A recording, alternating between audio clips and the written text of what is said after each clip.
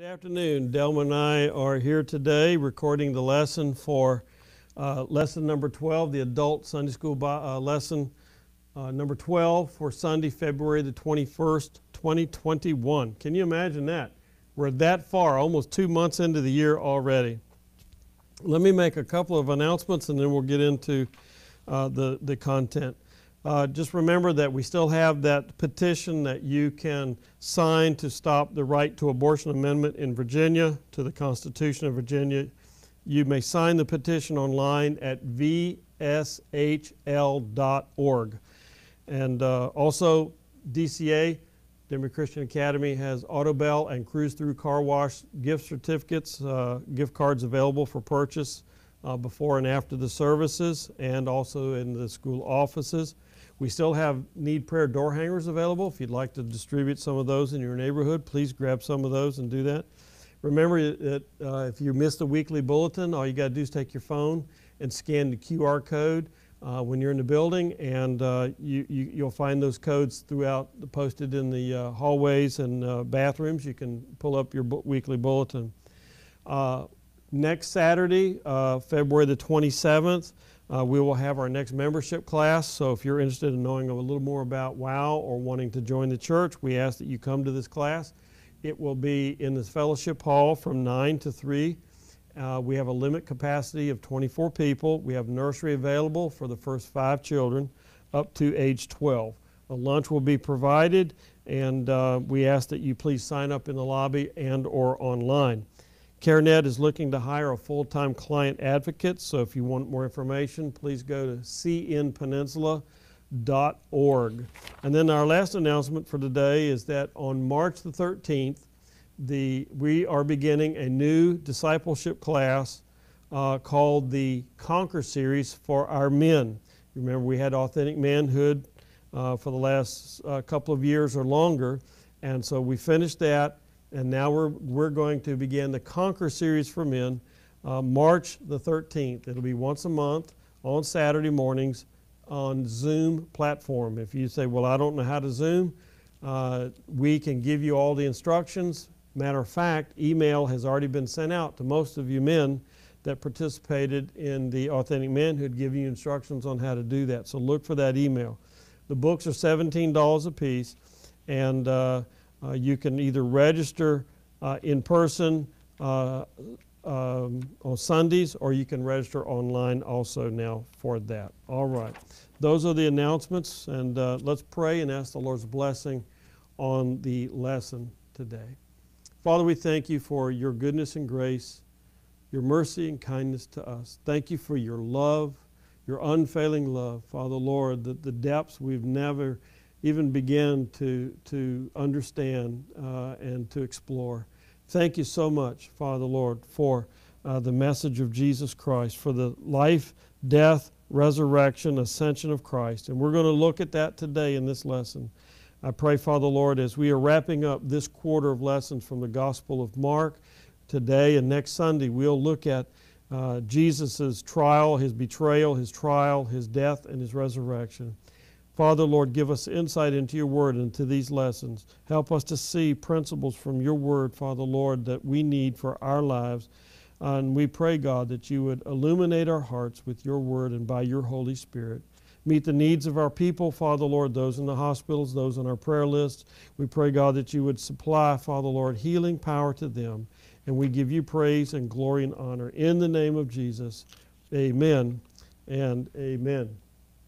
All right.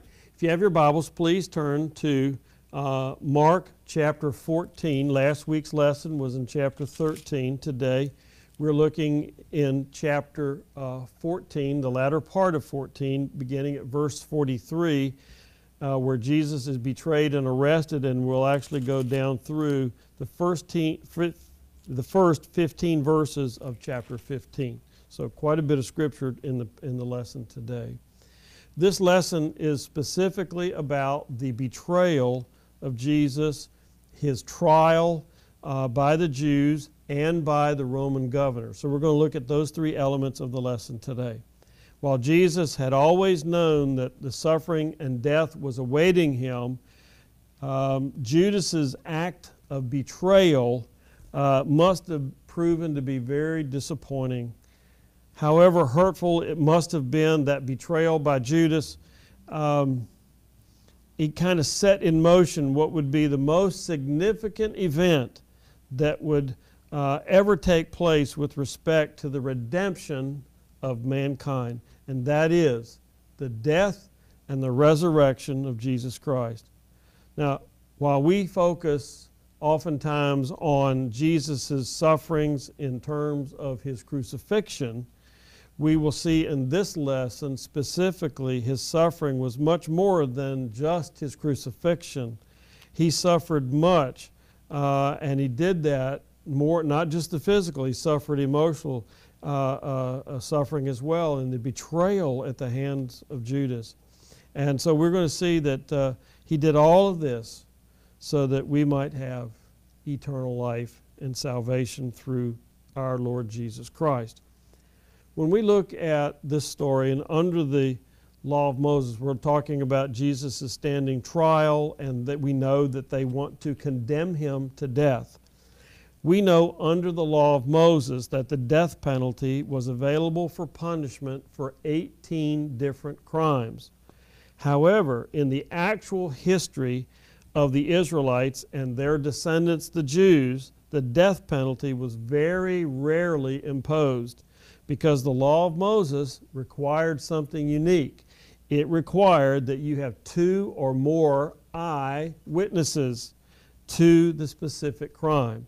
So while the Jewish court that tried Jesus had no authority under Roman law to impose the death penalty for any crime, so when we see that the, the Jewish court, Jesus is betrayed, he's sent for trial before uh, the high priest and before Pilate, but before the high priest, the Jewish court had no authority under Roman law to impose a death penalty. Now, the uh, Jewish religious leaders in Jesus' time would sometimes have people murdered by uh, uh, thugs and, and, and those Jewish mobs that they believed were worthy of death. Uh, and sometimes the mobs would stone people to death. The Roman government had a tendency to look the other way when that happened. When those kinds of offenses happened, they just kind of looked the other way. Today in uh, chapter 14, and let's begin at verse 43, let's read down through uh, 45. And immediately, even as Jesus said this, Judas one of the twelve disciples arrived with a crowd of men armed with swords and clubs. They had been sent by the leading priest, the teachers of the religious law, and the elders. The traitor, Judas, had given them a prearranged signal. You will know which one to arrest when I greet him with a kiss. Then you can take him away under guard. As soon as they had arrived, Judas walked up to Jesus. Rabbi, he exclaimed, and gave him the kiss. Here we see what must have been most trying. Jesus knew his suffering was coming, he knew he came to die, and yet one of his own 12 disciples, apostles, betrays him. This lesson today in chapter 1443 begins at the point uh, where Jesus and the disciples are in the Garden of Gethsemane on the night before he's crucified the next morning. Now, we know that Jesus is then betrayed by Judas. Now, this did not come as a surprise to, Judas, uh, to Jesus because he had always known, and he says it in John chapter 6. I want us to go there, John chapter 6, and look at verse 70. Notice what Jesus says. Then Jesus said, I have chosen the twelve of you, but one is a devil. He was speaking of Judas, son of Simon Iscariot, one of the twelve, whom would later betray him. So Jesus had always known, he didn't catch him by surprise that Judas betrayed him. He had known that. All right. However, at the Last Supper, after Jesus had washed the uh, disciples' feet uh, there, including Judas, Judas's feet as well. Jesus said, Verily, verily, I say unto you, that one of you shall betray me. And when he has dipped the sop, he gave it to Judas Iscariot, the son of Simon. A short time later, that very same night, then Judas approached Jesus uh, in the Garden of Gethsemane and betrayed him with the kiss, a prearranged signal as a kiss. And notice that in Jesus' day, a kiss was a sign of friendship. It's interesting that Judas uses the kiss, a sign of friendship, as the sign identifying Jesus as the uh, uh, Christ, the one to be arrested. The irony of Judas's action can be heard in Jesus' reply to him as we see in Luke chapter 22, verse 48. It says, Judas, betrayest thou the Son of Man with a kiss? In other words, how could you betray me with a kiss? A sign of friendship. So, what are, are we to think about Judas as being one of the twelve? I, I know I've had thoughts throughout my uh, Christian life about Judas. How could Jesus uh, choose a betrayer uh, to be one of his own? Uh, I've thought a lot about that. The Apostle Peter said this of Judas in uh, Acts chapter 1, uh, verse 17, and also references in 20. And you can also look in Psalm 69 and 109. It says, But he was numbered with us and had obtained part of this ministry. Now, this is Peter talking about Judas. He was numbered with us and he obtained part of this ministry. Now, it would appear from these words of Peter that that Peter regarded Judas, Judas as one of the 12 disciples until he made that decision to betray Jesus. When Judas put into action the evil that had been kind of festering in his mind and festering in his heart to betray Jesus, we see that Satan entered into him and his doom was sealed. Now, if you want to read a little more about this, you can see uh, what had been going on in the mind of Judas in Matthew 26, 14 through 16. John chapter 13, verse 27, actually gives us that where Satan entered into Judas, when, when Judas opened the door.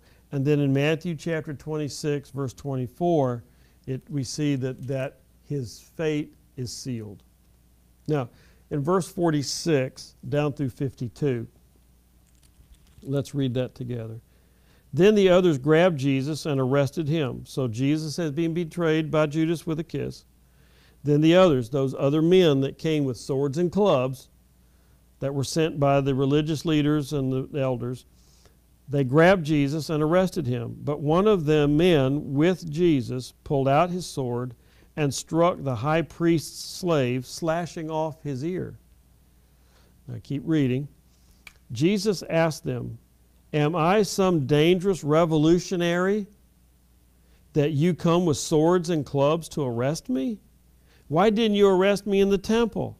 I was there among you teaching every day. But these things are happening to fulfill what the scriptures say about me. Then all of his disciples deserted him. All of his disciples deserted him and ran away. One young man following behind was clothed only in a long linen shirt. When the mob tried to grab him, he slipped out of his shirt and ran away naked.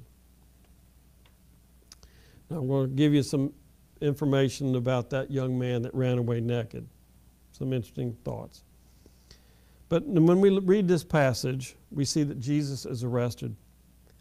But here's a question why did the enemies of Jesus seek to have Judas identify him for them?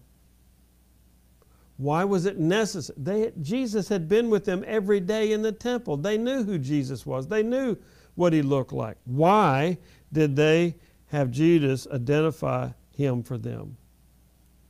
Well, I think it's kind of simple. They just wanted to make sure that the man they arrested was Jesus. I don't think we need to read any more into it. Matthew, Mark, Luke all tell that one of Jesus' apostles attempted to save Jesus from being arrested by cutting off the ear of the Jewish high priest's servant. Now, none say it was Peter. All right. So, we were talking about the lesson uh, where Jesus is arrested, and we're talking about uh, Mark chapter 14, verse 46 through 52. And we were asking the question, talking about how that Jesus uh, was being identified and how, why did the enemies of Jesus seek to have Judas identify Jesus with, uh, for them and with a kiss. And basically, it's uh, because they wanted to make sure. It's nighttime, it's dark, they're coming into the garden at nighttime. They, Jesus has been there a while with his disciples. It's dark. Uh, they've got torches, they got clubs, they got spears, and they want to make sure they're arresting the right man. Now, Matthew, Mark, and Luke tell that one of the uh, Jesus's apostles attempted to save him from being arrested by cutting off the ear of the, of the Jewish high priest's servant. Now, Matthew, Mark, or Luke don't say uh, that it was Peter, but John the apostle, who was a very close associate and friend of Peter, says in his gospel that Peter was the one who did this. If you go to John chapter 18, and verse 20, and we'll look at that, John 18 20, where John specifically says it was Peter that cut off the servant's ear. So it says, uh, John uh, chapter 18, verse 10. Then Simon Peter drew a sword and slashed off the right ear of Malchus, the high priest's slave. Let's read verse 11. But Jesus said to Peter, Put your sword back into its sheath. Shall I not drink from the cup of suffering the Father has given me? And so Jesus is identified, I mean, Jesus uh, says to Peter, Put it away. I came for this purpose. I came to suffer. I came to die. I came to fulfill the will of my Father. But John is the one who identifies the Apostle Peter. Now, we, we know that that's kind of characteristic for Peter somewhat because he is the oldest of the apostles. He is uh, likely the first disciple chosen by Jesus. And so, based on those seniorities, he kind of took a position of authority among the 12. And no doubt he's trying to save Jesus, but Jesus says, put it back. He put it back. Now, now notice that, that not only did Jesus intervene and stop Peter's action, but he also healed the man whose ear he'd cut off. He, he healed the man's ear, picked up and put the ear back on, heal the man. All right, and we see this in Luke chapter 22, verse 51. So Jesus then spoke to those who had come to arrest him and inquired, inquired of them why they came to arrest him as if he were a common criminal when he said, I was with you every day in the temple. You could have arrested me there. Why didn't you take me there? But Jesus knew why, and he says it in the last phrase. He said, But however, Scripture must be fulfilled. And so Jesus had conducted his public ministry. He wasn't private in his ministry, he had a public ministry. And he went all over Galilee in the public synagogues, and even in Jerusalem. He was in the temple every day. And so he, he conducted his ministry in Jerusalem in plain sight, of, in view of the people, in view of the religious leaders, and they had not arrested him. But now it's time for the scriptures to uh, uh, be fulfilled that had foretold of Jesus' death. Now, uh, Peter says in Acts chapter 2, if you flip over to Acts 2 and look at verse 23. Now, this is the Apostle Peter. He's preaching on the day of Pentecost. They've just been filled with the baptism of the Holy Spirit, and there's a question about what's going on. And he says this in verse 23 but God knew what would happen, and his prearranged plan was carried out when Jesus was betrayed. With the help of lawless Gentiles, you nailed him to a cross and killed him. So, very boldly, we see under the anointing and unction of the Holy Spirit, Peter says in his sermon that day that Jesus uh, had been delivered by the predetermined counsel of God. So, as Jesus was taken into police or uh, uh, custody of his enemies, all his apostles forsook him and fled. Verse 50 says in Mark 13. So, when we look at that, we see that earlier that same evening, all of them had given their very solemn word, an oath to Jesus that they would die with him, that they would never deny him. You see this in Matthew chapter 26 and verse 35. And it says, No, Peter insisted, even if I have to die with you, I will never deny you. And all the other disciples vowed the same. We always want to blame Peter, but all the disciples took the same vow. They all vowed the same, that they would die for the Lord Jesus Christ. Now, notice that they've taken this, and it appears that Peter may have tried, tried to make good on his promise that he would die uh, with Jesus when he cut off the ear of the servant, because more than likely, what he was really trying to do was probably split the man's skull wide open with his sword, and he missed and sliced off his ear instead. Now, think about that for a moment. If he'd done that, he likely would have also then been arrested and charged with a crime. But Jesus stopped Peter, and a short while later, we know that Peter uh, denied knowing Jesus three times. It is generally believed that, that, remember that last verse I read, it said that young man that was in a linen shirt and they tried to grab him. The crowd, the mob tried to grab him and he wiggled out of his shirt and ran away naked.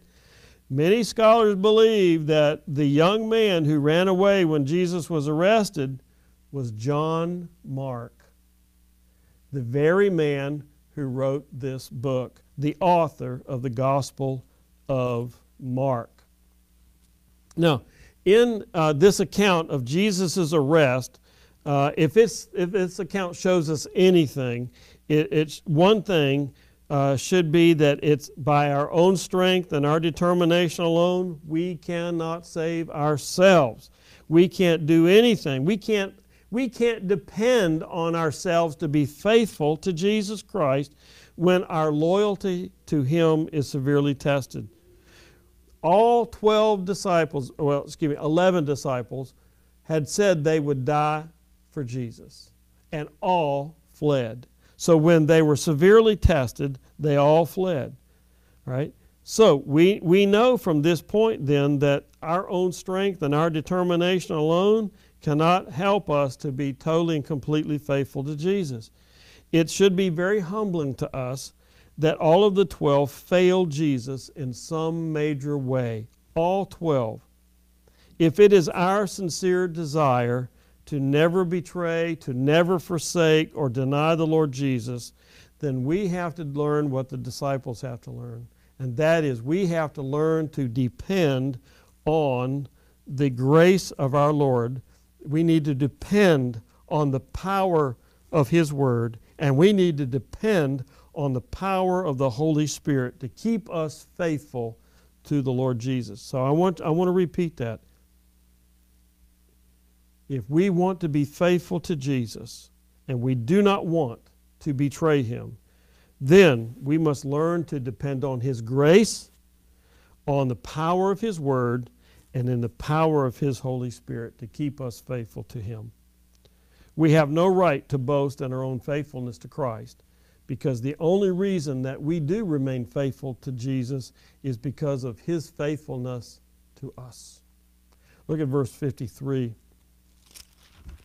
it says, um, They took Jesus to the high priest's home where the leading priests, the elders, and the teachers of the religious law had gathered. Meanwhile, Peter followed him at a distance and went right into the high priest's courtyard. There he sat with the guards, warming himself by the fire. Inside, the leading priest and the entire high council were trying to find evidence against Jesus so they could put him to death, but they couldn't find any. Many false witnesses spoke against him, but they contradicted each other. Remember, I told you, Jewish law, the law of Moses said that you must have two or more eyewitnesses. Well, the witnesses that these high councils trying to find against Christ contradicted each other, so you couldn't get more than one. Okay? Right? Finally, some men stood up and gave false testimony. We heard him say, I will destroy this temple made with human hands, and in three days I will build another, made without human hands. But even then, they didn't get their story straight. Then the high priest stood, be, stood up before the others and asked Jesus, Well, aren't you going to answer these charges? What do you have to say for yourself? But Jesus was silent and made no reply. Then the high priest asked him, Are you the Messiah, the Son of the Blessed One? Now, notice what Jesus answers. In verse 62, Jesus replied, I am. And you will see the Son of Man seated in the place of honor at God's right hand and coming on the clouds of heaven. Then the high priest tore his clothes to show his horror and said, Why do we need other witnesses? You have all heard this, his blasphemy. What is your verdict? Guilty, they all cried. He deserves to die. Then some of them began to spit at him, and they blindfolded him and beat him with their fists. Prophesy to us, they jeered, and the guards slapped him as they took him away.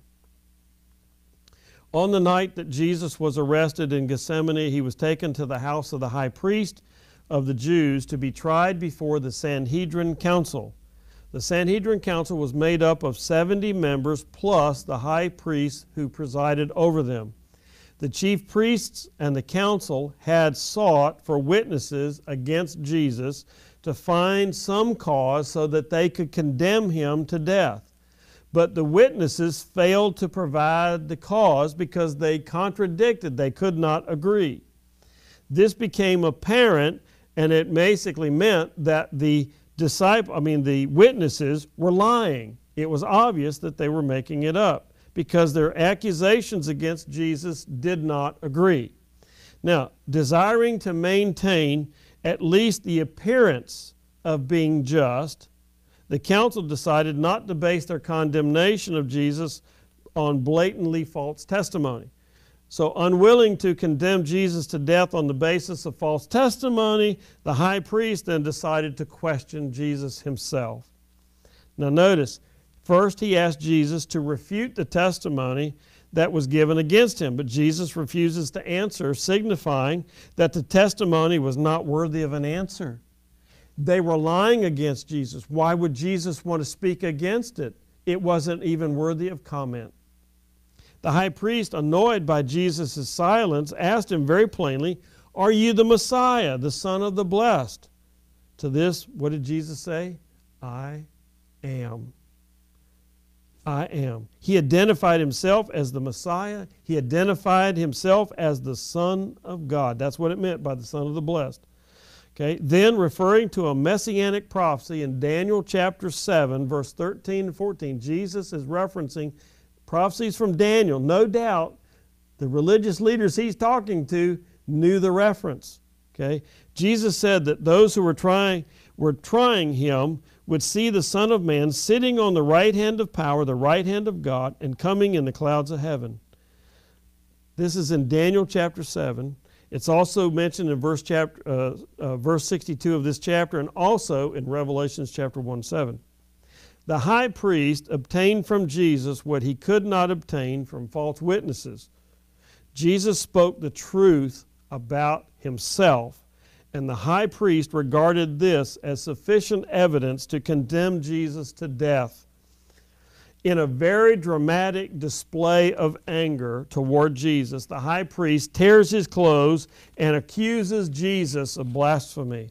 Obviously, they do not recognize that Jesus is the Son of God, that he is Mary and Joseph's boy, and he is uh, a false prophet the high priest called out to the council, Well, what do you think based on what you've heard? And their reply was that they all condemned him to be guilty of death. So, unleashing their hatred toward Jesus, members of the council and their servants began spitting on Jesus and assaulted him. Now, what I find interesting is that they blindfold him and then they assault him as if they didn't want him to see who was hitting him in Mark 14, verse 66. Meanwhile, now notice we began to say earlier in the verses that Peter followed the, uh, Jesus into the courtyard. Meanwhile, Peter was in the courtyard below. One of the servant girls who worked for the high priest came by and noticed Peter warming himself at the fire. She looked at him closely and said, You're one of those with Jesus of Nazareth. But Peter denied it. I don't know what you're talking about, he said, and he went out into the entryway. Just then, a rooster crowed. When the servant girl saw him standing there, she began telling the others, This man is definitely one of them. But Peter denied it again. A little later, some of the other bystanders confronted Peter and said, You must be one of them because you are Galilean.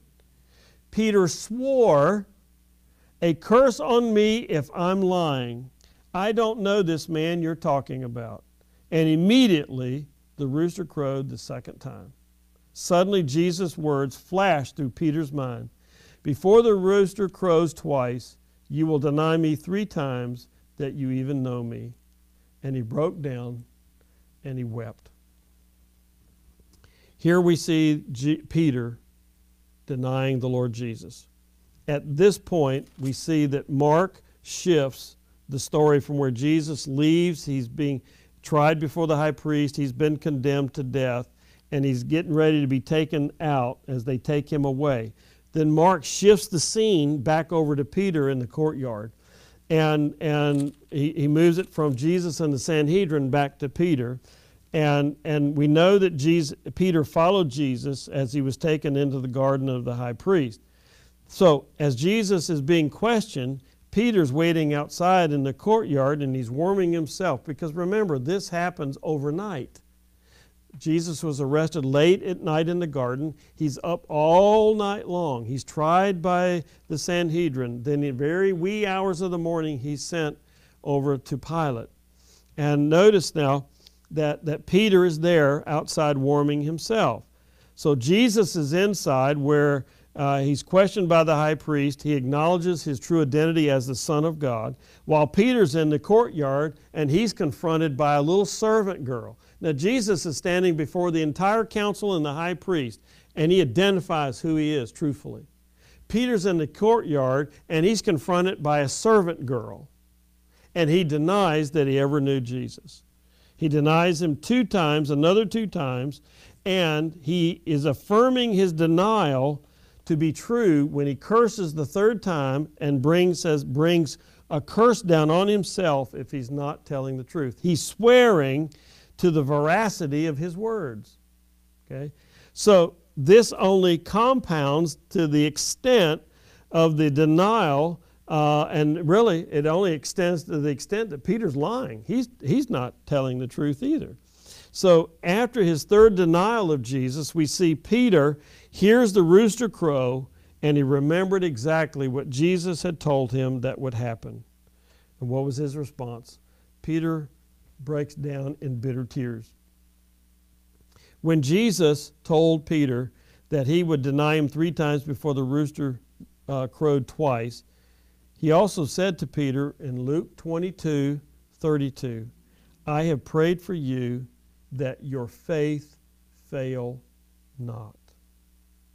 Peter's denial of Jesus was a very serious moral failure, but it did not ruin his life because Jesus had prayed for him that his faith would not fail. Sadly, believers in Jesus Christ are sometimes guilty of serious moral failures.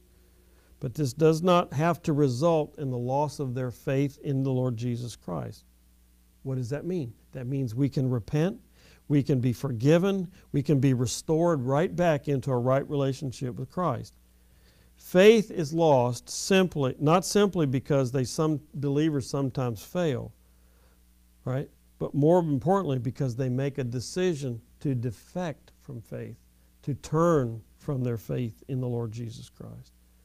So we need to remember that there is a great difference between a Christian who fails and repents and is restored to a right, a right relationship and the one who intentionally defects from faith in Christ and refuses to repent. Now, we're wrapping up the lesson here, and let's read uh, 15 verses 1 through 15. Very early in the morning, remember I just said Jesus was sent in the wee hours of the morning. Very early in the morning, the leading priests, the elders, and the teachers of religious law, the entire high council, that means 71 members, met to discuss their next step. They bound Jesus and led him away and took him to Pilate, the Roman governor. Remember, they could they could condemn him, but they couldn't kill him. Okay, right? Pilate asked Jesus, "Are you the king of the Jews?" And Jesus replied, "You have said it." Then the leading priests kept accusing him of many crimes. Right? There's where they're lying. Okay, many crimes. And Pilate asked him, Aren't you going to answer them? What about all these charges they're bringing against you? But Jesus said nothing, much to Pilate's surprise. Now, if it was the governor, it was the governor's custom each year during the Passover celebration to release one prisoner, anyone the people requested. One of the prisoners at the time was Barabbas, a revolutionary had committed murder in an uprising. The crowd went to Pilate and asked him to release a prisoner as usual. Would you like me to release to you this king of the Jews? Pilate asked, for he realized that by now the leading priest had arrested Jesus out of envy. They were jealous of Jesus. But at, that at this point, the leading priest stirred up the crowd to demand the release of Barabbas against Jesus instead of Jesus. Pilate asked him, then what should I do with this man you call the king of the Jews? They shouted back, Crucify him. Why? Pilate demanded. What crime has he committed? But the mob roared even louder, Crucify him. So, to pacify the crowd, Pilate released Barabbas to them. He ordered Jesus flogged with a lead tipped whip, then turned him over to the Roman soldiers to be crucified. At this point, Jesus has been betrayed. He's been tried. He has, was accused. They tried to accuse him of multiple crimes for which they could get no witnesses to agree. They questioned Jesus directly. And the high priest asked him if he is the Messiah, the Son of God. And Jesus says, I am. And he stated the truth. They refused to accept the truth, condemned him to death, and now they are sending him before Pilate. So the religious leaders of the Jews had no authority, I've said that once, but they had no authority under Roman law to put anybody to death. Nevertheless, they were determined, you can see, they were determined to kill Jesus. So uh, we see that uh, it likely, if you go back to chapter 26 of Matthew, it's likely that they had secretly intended to murder Jesus after the Passover. But a opportunity presented itself. Now, Passover spans eight days. So originally they had planned to murder Jesus secretly after Passover at the end of those eight days. But Judas's betrayal gives them an opportunity they did not expect, an unexpected opportunity.